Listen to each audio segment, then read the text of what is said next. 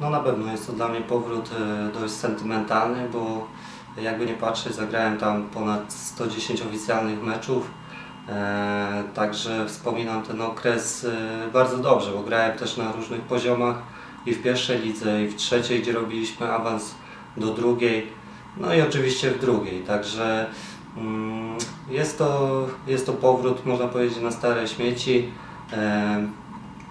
Wspominam ten okres, można powiedzieć różnie, nie boję się tego użyć słowa, e, bo były, były momenty trudne, bardzo trudne, ale była, była też radość, na przykład przy awansie właśnie.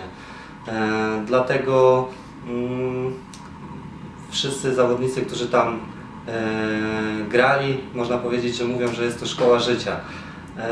Ja taką przyszedłem, wspominam to bardzo, bardzo dobrze i ludzi tam pracujących, i trenerów. E, No i oczywiście nie można zapomnieć o kibicach. Natomiast e, dzisiaj jedziemy e, z drużyną z Bełchatowa, z mojego miasta. Jedziemy tam powalczyć, chociaż wiemy, że mm, Polonia Bytom miała dobry start, mimo ujemnych punktów. Jest w czubie tabeli. Natomiast my się na pewno nie przestraszyliśmy nie przez, i będziemy, będziemy walczyć o swoje, o trzy punkty, bo to jest cel nadrzędny.